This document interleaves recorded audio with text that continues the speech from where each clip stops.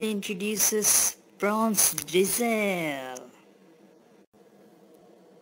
This is the 60 year edition of diesel. We can hardly see them because they are limited edition. Now you can see the outline of diesel.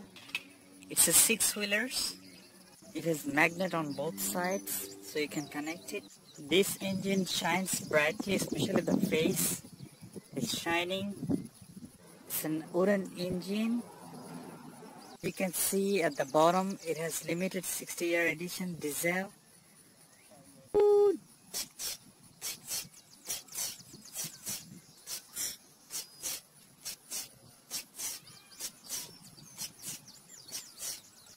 Thank you viewers, thank you for watching.